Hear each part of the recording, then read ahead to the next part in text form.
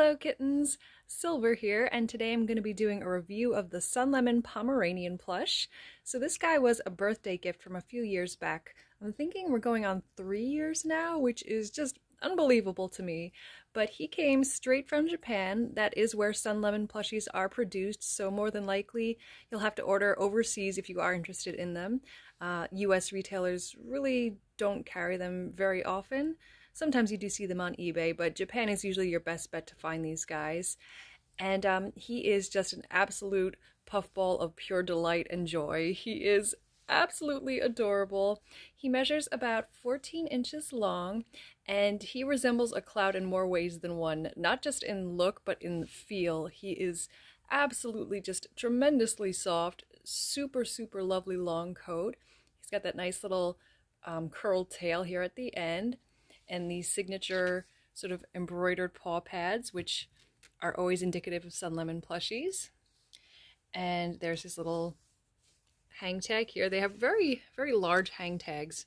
So um, it's, it's definitely difficult to resist the urge to, to cut them just because they are, you know, very, uh, very obtrusive. But, you know, being a collector, it's, it's very difficult for me to, to, you know, sort of take the scissors out and, and go to that length. But anyway, so he's an all over white dog except for his muzzle here, which is a, a nice light cream color. And he's got a little black hand threaded mouth with some black airbrush markings. And he has a black plastic nose and dark round eyes that are sort of rimmed with a, um, they're sort of rimmed in dark brown. He's got the, they sort of look all black from, you know, from this vantage point. But um, it's a very, very dark brown. I'm just looking closer. Um, now, one thing about him that was a little bit different than the cats that I usually collect from this company is that he's not quite as floppy.